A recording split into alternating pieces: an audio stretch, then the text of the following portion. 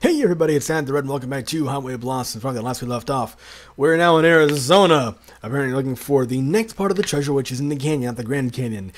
That makes Marina very sad. Anyway, I turned around. Marina has a couple of king-sized candy bars in her hands and a large bottle of Coke tucked under her arm. Ugh. Chocolate bars and Coke. Ugh. Fuck. You seriously need all that? Here's gonna, you know? I thought they could share. Oh, she actually looks kind of sad there.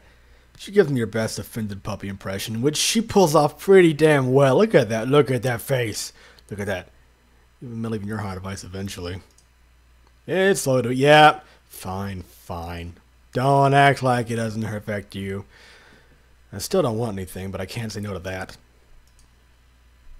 Here, I'm going to use the bathroom too. Meet you at the car. I place my wall atop my wall atop the pile of candy she's carrying and send her towards the attendant. Oh no! Bad idea. When I come back out of the bathroom, Marina's still not talking to the clerk. There's a bag in her hand, so she must have already finished paying and gotten distracted talking. I joined the two of them. Closed off, so it's only guarded by so only the guided tours are open right now. Marina looks like she's seen a ghost. What's up? I'll take my wallet from where it's just sitting forgotten on the counter. Mm-hmm. Uh, I was just asking about the canyon and the tours and stuff. The clerk nods. Yep, no, I was just saying how if you're here to sightsee, you might have you might have some trouble. Uh, a lot of it's closed off because of all the kids coming and causing trouble looking for treasure. Damn, not surprised, but it's frustrating. It wasn't closed off. Well, there are still some tours you can go on. Most of them, I think, but you can't do all the do the self-guided ones. Marina's look. Mar Marina's Marina looks at me eyes wide. Clearly, she's expecting some solution from me. Just, you have a brain that works. Do it, do it, do it, do it, do it. I just smiled at the attendant. Got it. Thank you. And lead a dumbstruck Marina out of the store. As I unlock the RV, Marina prances around me. What are we going to do? Well, I'm going to take a nap. She stops. Huh? I'm tired, so I'm going to take a nap for a little bit. I check one of the pamphlets and there's a tour at 6.30, so we'll just join that and then sneak off. Like, on our own? Uh, yeah? Her eyes go wide again. That's so exciting! Amber, you're a genius! now she's just smarter than you. I twist a lock of my hair around my finger and glance away. Her constant compliments are a little embarrassing, especially for stuff that seems so obvious to me. That's because she's dense as fuck. Anything, even remotely intelligent, seems to impress her. But, but we'll not judge her for it. We'll just smile and go, "Oh," pat on the head. Thanks. It's not much of a plan, though. Yeah, at least it's a plan. I thought we were gonna just have to give up or something. Nah, rules are made to be broken and all that. I feel a bit guilty that we'll be breaking rules specifically put in place because of people like us, but I can safely say that we'll be more careful than the average treasure hunter. Can you, though? Just picturing Mariah, I can easily see her smashing down ancient ruins in her search. yeah, fucking got like a, an actual sledgehammer. Just, no! Boom! Where's my gold? Must have revenge. But yeah, wait until 5.30, unless you're good going to nap too. Nope, I'm not tired anymore, so I'll just read some more. Unless you just pass it all on the way or something. Alright, good night. Night-night. I leave her up, up in the front as I head back to my bed and fall into it. After bunching up my blankets around me, it doesn't take long to fall asleep.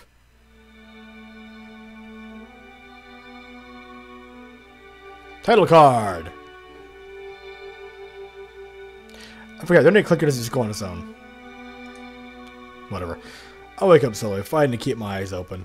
In the back of my head, I feel like something is wrong. It takes a minute before I realize I've overslept. Uh, yeah, let me guess. She fell asleep too. It's a quarter to six. Marina was supposed to wait 15 minutes ago. Marina? I call her name but get no response. Rolling out of bed, I massage my eyes and stumble towards the front. Of course she's asleep. Sprawled out on the dash with her head buried in her arms. Looks like she's been out for a while. Jerking by the shoulder, I shake her awake. Ah, uh, what's up, Amber? Her speech is slurred by sleepiness. I ignore the temptation to make the not you joke. How's that book you're reading? It's great. I just put it down to. A look of shock spreads across her face. Mounting horror takes over as she realizes the time. Oh god, I'm so, so sorry. I was just gonna nap, but then I forgot to set an alarm. I mean, to wake me up. Yeah, that's what alarms are for. Freaking out, she hurriedly tries to buckle her seatbelt, failing several times in her frenzy.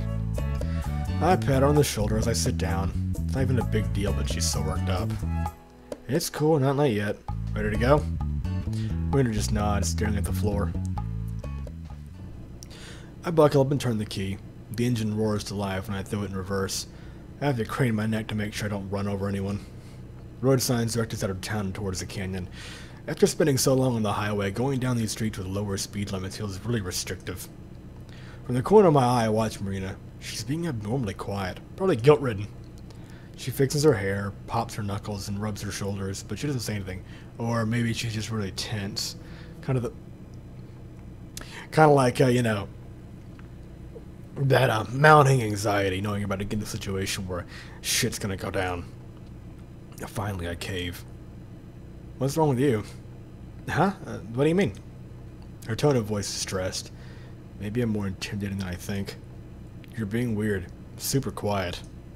Oh, um, well, just quiet all would actually be weird for her, to be honest. Um, I don't know if you're mad at me or not. What, for falling asleep? She nods.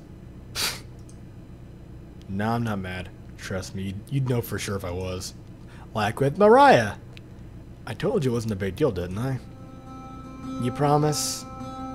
Yeah, I promise. Marina bounces in her seat, immediately cheerier. Okay, cool, because if you were mad, like, mad at me, that'd be a bad sign. Sign of what? That we wouldn't be good partners. You know, treasure hunting buddies. Oh, we're partners now, are we? You're the sidekick, right? No way, I'm totally the main character. You're here because of me. I laugh, and she turns away smiling. She's a lot cuter when she smiles. I've been smiling more too, I realize. As I think that, it starts to make me feel sad again. she's melting your heart of stone. We've already gone over this.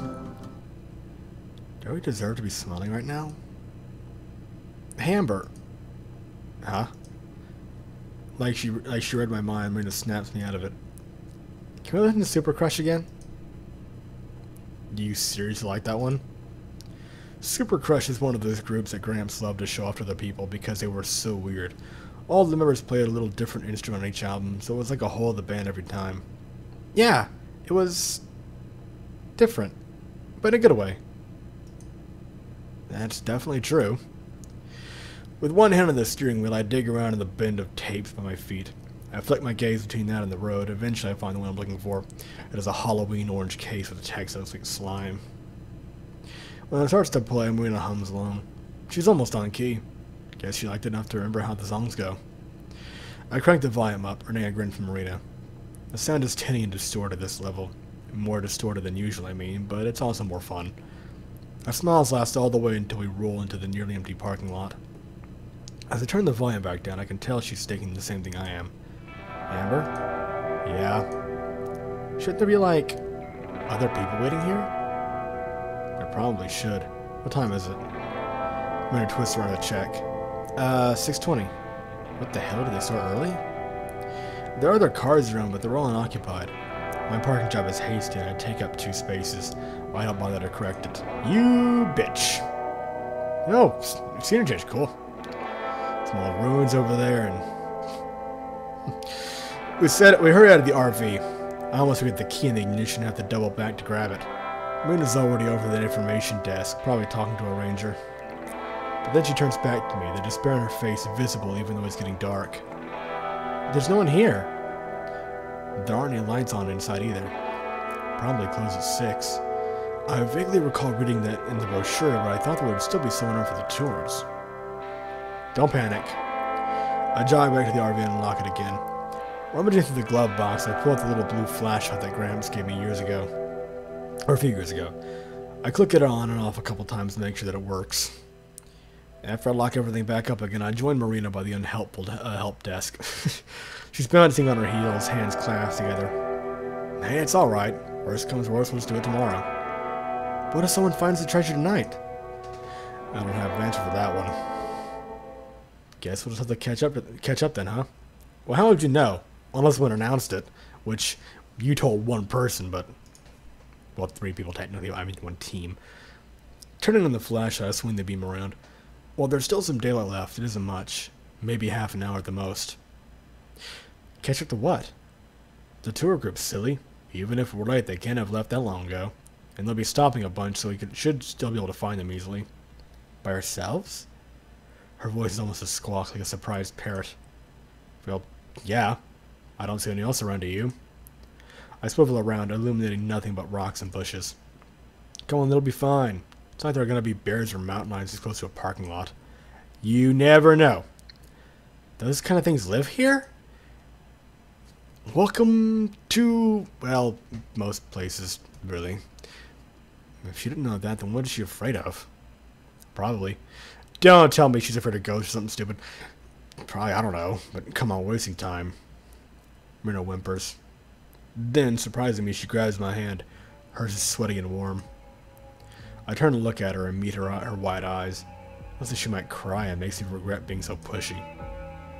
We don't have to do it if you don't want to. She shakes her head but clings to me like a kid, her free hand buried in my clothes. If it were any brighter out, she'd see my face turn red. Now, like I said, if we don't go now, someone else will beat us to it. Just stay close, okay? Just get behind her, please. Yeah, of course. She lets me leave but doesn't let go of my hand. Large wooden sign marks the start of the trail. So, uh, are you scared of the dark? No answer. But you were fine at Shiprock.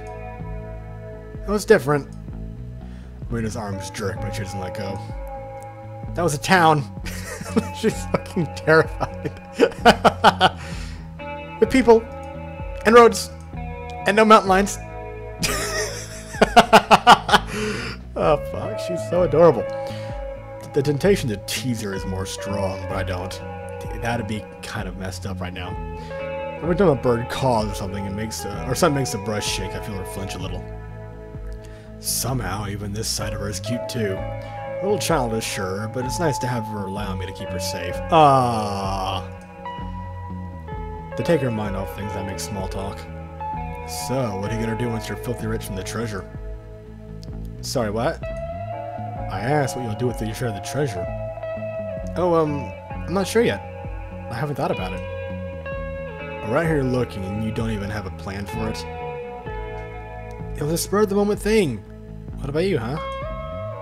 I don't know either. Ha! See, I'm not. Yeah, yeah, but I wasn't planning on looking for it, you know? I haven't spent as much time thinking about it. I glance behind me to see Marina stick at her tongue. I laugh. Yeah. but, uh, let's see. I definitely need to pay off Gramps' hospital and funeral expenses. After that, I guess I should probably get the motorhome fixed up. It's not gonna break down on us or anything, but it's kind of old. Why not just buy a new one? Hell no. Yeah, it's... Blonde to her grandfather. Too, too much sentimental value there. My response comes out snappier than I intended. It's just that it has sentimental value, you know? I'd rather keep the, by, than buy a newer, better car. I grew up in that thing. I could never just replace it. After that, I'd probably just keep doing what I was doing before I met you. And what's that? Wandering. Don't you want to stop wandering sometime? My step's a bit. It's an innocent question, but it hits me hard. Not yet, no. I whispered. Oh. Marina catches up next to me, dropping my hand as she does so. At least not the only one without a goal. Her situation's different for different from yours, Marina. Just saying. You're just kind of an airhead. I poke her in the sun, she squirms a couple of, away a couple of feet. Ow! Dork. Hard to stay sad around her. As he turned a road, a turn uh, as we turn around a road, a curve in the road, I don't know why I'm having trouble with the sentence. As we turn around a curve in the road, the tour group comes into view. Just ahead is a cluster of people, most of them armed with flashlights. It's hard to know for sure, but I can see at least a dozen different figures. The tour guide is shining his light up at a, a rock face, illuminating some designs on it.